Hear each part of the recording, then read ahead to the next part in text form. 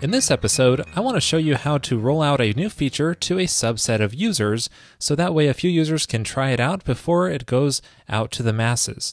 And here's the application we'll be working with. It's a simple to-do list application where you can type this in and add a new task to your list here. And there's also some basic user authentication where you can log in as a different user, like that. Now, that's really all there is to this app. It's very simple, but there is another feature that's not visible here because it's in its own Git branch. So right now I'm in the master branch of this project, but I can check out a separate branch that's called phone to check out this other feature.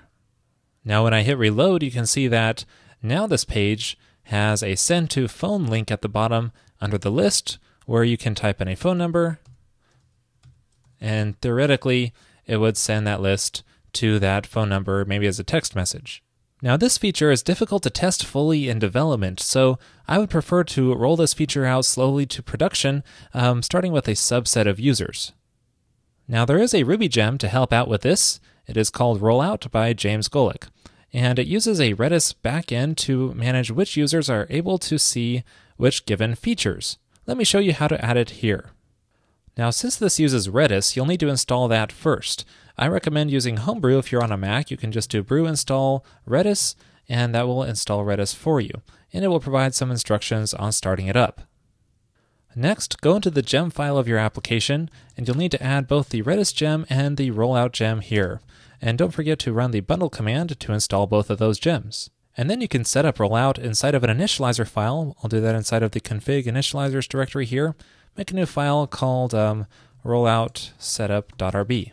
Now the documentation recommends using global variables here for this, so I'll do that. First we'll set up Redis, we're calling redis.new, and that'll just use the default port that it's running at. And then we can set up rollout by calling rollout.new and passing in uh, that Redis instance. And you could do other configuration for rollout in here as well, such as defining a group. So we'll define a group called admin, and then what you do is you pass it a block, and that accepts a user object, and then you can uh, say true or false depending on whether the user belongs in the group. So in this case, we'll check if the admin boolean column returns true for that given user. Now that we have rollout set up, we can use it to select which portions of the application we want to roll out slowly. For example, this send to phone link right here, we want to only show it for a select set of users. So here's what that index template looks like with the send to phone link. And in here we need to wrap this to an if clause so it's only displayed if uh, we have it specified in rollout. So we can call the rollout global variable here and say active with a question mark, and then pass it the name of a feature such as phone, and then pass it the current user, the current user instance. And then that way, only if we've selected to show this feature to that given user, then it will display that link. Now you'll probably need to restart your application for the gem to take effect, and also make sure Redis is running, but then when you hit reload on the application, you'll see that the send to phone link disappeared because by default, all features are off. Now we just have to tell Rollout to activate this feature for a given subset of users. Now I'll be doing this through the Rails console here, but you can also do this maybe through a rake task or even a web user interface. So I'll be accessing this through the rollout variable, and then I can call activate group, and then pass in the name of the feature, such as phone in this case, and then the group name such as admin, and that will activate that feature for that given group. So now when I reload the page, you can see that send to phone feature is now visible, but if I try switching users here to the other user, which is not an admin, you can see the send to phone feature is not visible. Now if you ever want to activate every user, you can choose activate group all, and that will activate all users because there's an all group set up by default that is for every user. Now you can also activate individual users. So you could say activate user here and then pass in a user instance. So you could say user find by name and then pass in Ryan here to activate that specific user. Now, since I am logged in as that user, I can hit reload and see that that feature is now available to me because I activated that specific user. Now you can also activate a percentage of users by calling activate percentage and then passing in a number such as 20 and that will activate 20% of the users. Then you can slowly build that number up. And each of these methods have a deactivate version for removing the activation, or you can just pass in rollout.deactivate all and then pass in the name of the feature to remove all activations for that given feature. So now if I hit reload, you can see we're back to where we started where I don't have access to that send to phone link. However, I'm still able to access the feature directly if I know the URL, so I'm just hiding the link here so I could say in phone request slash new to access that link page. Now you may want to disable this as well through the controller. So here's what that phone request controller looks like that handles our new feature. Right now I already have some authentication through a before filter, but let me add another before filter here to handle the rollout so that only users who are really able to have access to this do. So this will be through a rollout method. I'll make that private so it's not a controller action. Now I'm just going to paste in the code here because it's basically the same thing that we did in the view, where I'm calling rollout, rollout.active and checking if the current user is able to access that phone feature. And if they are, then uh, we'll let them through, but otherwise we're going to say access denied and redirect them back to the home page. So now if I hit reload here, because I don't have access to the send to phone page, it says access denied, so that works. Now if you find yourself calling this rollout active method frequently, I suggest moving this into your application controller and just calling it rollout so that way you can imply the current user there, makes it a lot cleaner. Now I already have a couple methods in my application controller to help out with authentication, but you can just ignore those. I'm just going to paste in that rollout method so that way it does the same thing that we did before. It's just a lot more concise and convenient. So this means anywhere that I'm calling rollout.active, I can just replace it with this rollout call, and I made it a helper method so I can do it inside the view as well. When I called this rollout here, I can just replace this with rollout, and then I don't have to pass in the current user. Much cleaner. Now, sometimes it can be difficult to find all of the changes you've made to a codebase for a given feature so that you can wrap it in a rollout condition. Well, this is where Git branches come in handy. If you keep a separate branch for your feature, you can just call git diff master to find out all the differences in the codebase for the master branch compared to the uh, feature branch so you can see what you've added. And then you could just make sure to wrap out these additions in a rollout condition so that they only appear if the uh, user has access to them.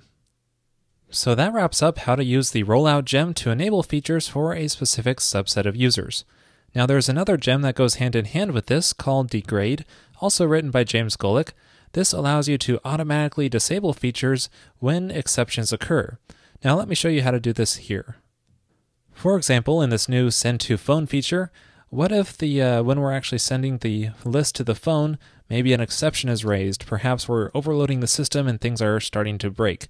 It would be nice if we can automatically disable this feature and fall back to the old behavior when this happens, and the degrade gem helps us do this. So the first step is to go into the gem file and add the degrade gem into here, and then run the bundle command to install it. And then inside of our rollout setup file, which is the initializer we set up earlier, we can make a uh, degrade phone instance here by calling degrade.new and then passing in the uh, Redis instance. Now there are other options you can pass in here as well, such as the name option. That's the name of the feature. I'll say phone. And I'm also going to set the minimum option to 1 so that we can test this because it defaults to 100, which is how many times it should be triggered before it uh, checks the failure rate. And then there's also the failure strategy option, which is a lambda that gets triggered when it exceeds the failure rate. And in here we want to disable the send to phone feature, which we can do by calling rollout.deactivate all and passing in phone here to disable that feature. Now there are other options you can pass into here as well, so be sure to check out the README for the full documentation on that.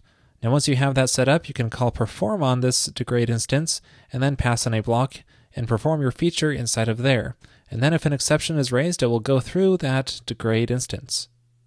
In our case, this new feature is handled inside of these controller actions, so we can use an around filter here to handle these. I'll call it degrade, and then I'll make that degrade method here.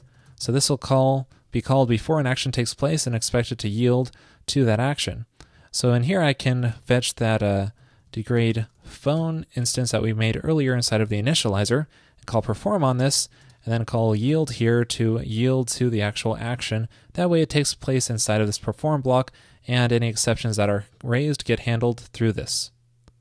Now we can try this out.